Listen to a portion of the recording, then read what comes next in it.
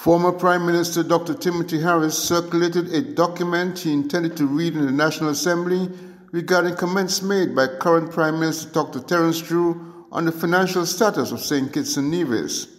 In a recent sitting of Parliament, the Speaker ruled against Dr. Harris speaking on the matters on the grounds that he was referring to statements made outside the environment of a National Assembly sitting.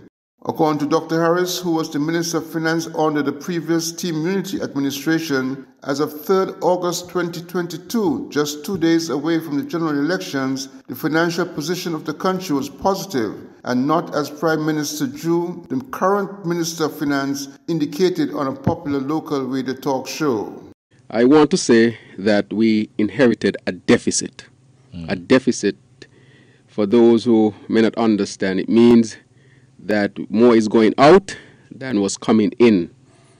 Um, instead of a surplus is the opposite of a surplus. Hmm. So it means, therefore, in other terms, we are in the red when hmm. it comes to our overall finances.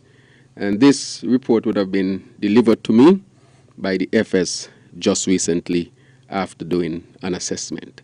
Hmm. So we inherited a deficit.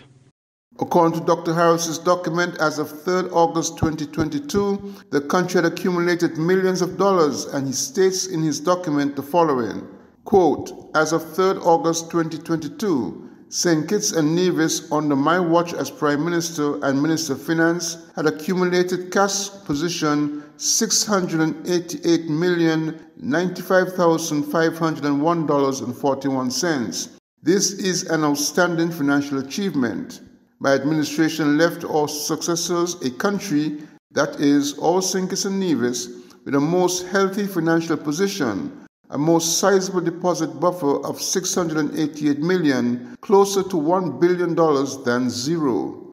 The honorable member must explain how, in less than 90 days, he spent off or wasted $688 million of our financial resources to put the country in the red.